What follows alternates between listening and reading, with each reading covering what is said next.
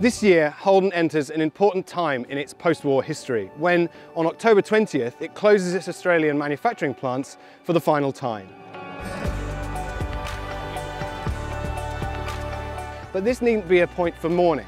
Instead, we've come here to Holden's top secret proving ground in Lang Lang, Victoria for a celebration of one of Australia's most loved and favourite car brands.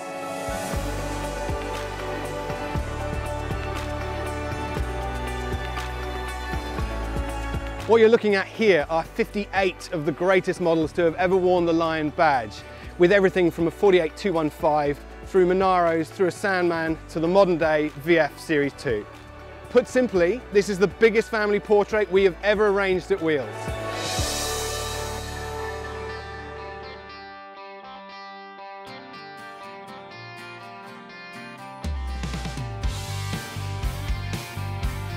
Eric Spokes, this is your 48215. It's great to have the car here, a bit of a centrepiece. You've had it 15 years now, yeah? Yep, yep. It wasn't in this a good condition when I got it. It was just in bits and pieces. You've done a fantastic job on it, obviously a labour of love. Yes. Um, no plans to get rid of it ever, I'm, I'm uh, assuming? No, not at this stage, no. Now, in this glove box, there's something a bit special, isn't there? Yeah, one of the original designers, Jack Rawnsley, yep. went to America and, and designed this car.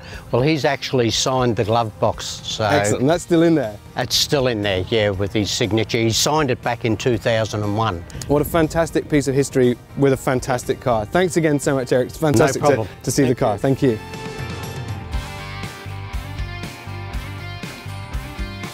Mark Fraser, thank you so much for bringing along your HK Monaro today. It's an absolute beauty. Yeah. You've had the car 23 years now. 23 years. But I understand when you first acquired it, it was a daily drive. It was. So I needed a car and a friend's dad was selling this and I bought it for $2,000.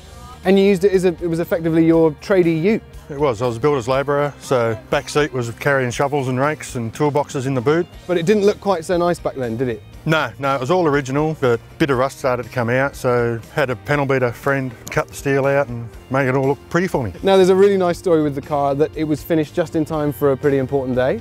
Yeah, I had it sitting in the shed for six or eight years, just collecting dust and asked my then girlfriend if she wanted to put a ring on the finger and she said yes and got it looking like this and went to Vic Roads the day before the wedding and got the plates put on it. Fantastic. So, Congratulations. That's wonderful. Thanks so much for bringing it along. No it's great to see it on a great day. Oh, it's going to be a great day here. There's lots of nice cars to look at.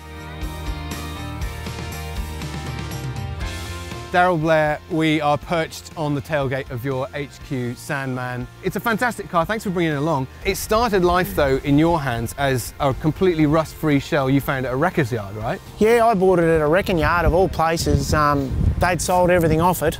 Yeah. And the shell was left, it was rolling. But that was your luck, really, wasn't it? Because the shell is the, the, key thing. Well, they're the hardest bits to find in my eyes, but yeah. I bought it back when they weren't that desirable. And you showed me before, I love that you've got the Aussie made sticker on the tailgate yeah, there. That was one of the most important things for you with this resto and this car, wasn't it? Is you wanted to keep it all Aussie made. Yeah, that's it. It's, it's all, everything through, it's all Holden. And my favourite part of the whole car, tell us about the engine. What's the story behind that?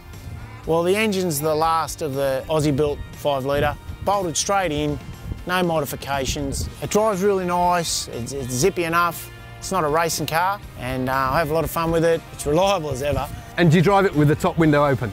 I suppose because I've had the car for so long, it's not that big a novelty to run around with the tailgate wide open. Yeah.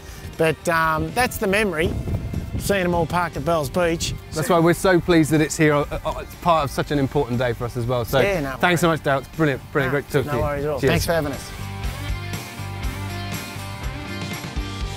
Phil, you are the owner of one of the most pristine and potent cars we've got here today, this Torana A9X. This is a relatively new addition to your family. Yes, well I've been a car fan for many, many years and I've always wanted one of these. About 14 months ago, a friend of mine who knew the car said the guy would probably sell it. So when I approached him, he balked at the idea, but I just worked on him and I got the car and I was very, very happy with it because a lot of old cars look good, but when you actually get in them, you go, oh. But this thing does everything like it looks. The gearbox, the ratios, everything about the car is bang, hit the key and say, I love driving this, because you do. You get out, even after an hour and three quarters, and you go, I wish it was another hour and three quarters. I'm amazed you've managed to stay away from one of my favourite features of this car for so long actually. We haven't talked about possibly one of the best things. It does have a little personalisation on the interior, doesn't it? Well, it's got a little signature in there. It's probably the most famous signature in Australian motor racing. Don't make our audience guess, who is it? Peter Brock. And it is real. Peter Brock, yes, he's come up and he said, I love it. And he wrote on the glove box, Torana rules. And, you know, as far as I'm concerned, uh, I'm very privileged to own it. And we're privileged to have it here as well today. Torana rules. You can't say it much better than that, can you, Phil? No, no, thanks very much. Thanks Thank you very much.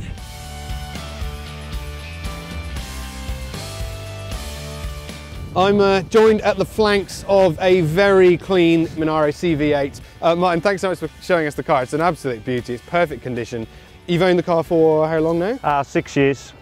Six years. It looks to me to be absolutely stock, but you have done a couple little bits and pieces to it, haven't you? Yes, it's got the larger HSV brakes. It's been lowered slightly. Full exhaust.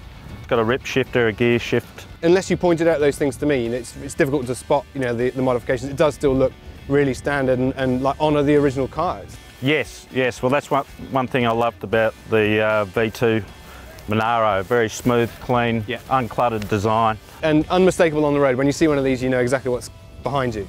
Yes, yes. Well, especially in the devil yellow, it Yeah. uh, makes it easy to find in the car park. Fantastic.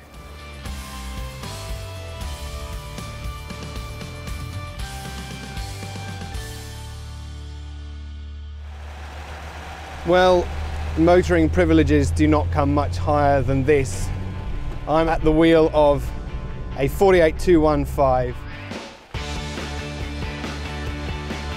Obviously, when you're driving at uh, Holden's Lang Lang test track on the high speed oval, safety is a number one concern. So before I got in the car and drove off, I was absolutely certain that I had my seat.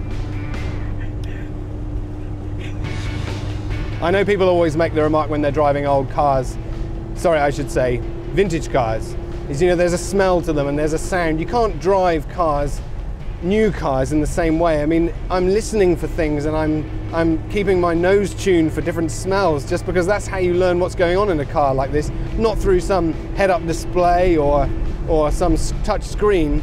This is this is real driving. I feel really connected to, to this car in a way that you don't really get so much anymore.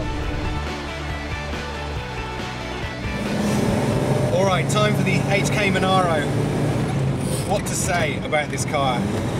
This car, other than the way it looks, is really important in the Holden history because it marked a transition from cars that were effectively humpbacked, not particularly pretty things that were designed to negotiate unsealed roads to what effectively was one of our first true muscle cars. You'll even notice I'm adopting the correct driving position, which is very laid back. It's just such a great representation. This for me is one of the most special times in the Holden history, and honestly one of my favourite Monaros as well.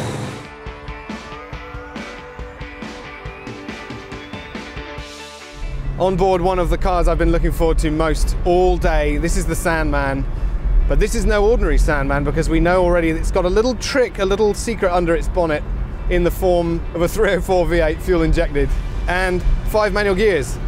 Could you get much more of a 70s icon and an indication of where Holden was in the 70s than a Sandman? The only way this could be any more perfect would be is if I had my top window undone. But just being in a car that's so iconic and so unmistakable on the road is a, is a real privilege and representative of, of a really important time for Holden.